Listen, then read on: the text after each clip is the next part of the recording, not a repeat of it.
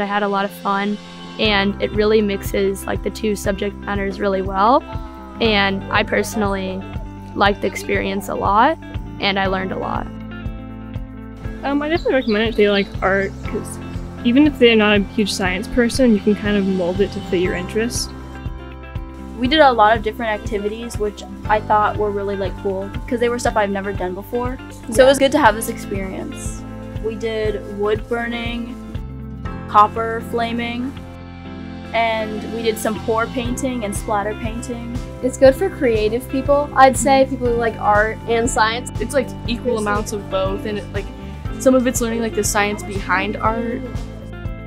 We made great friends. It's fun. The food is good. I can't really think of a bad thing about it.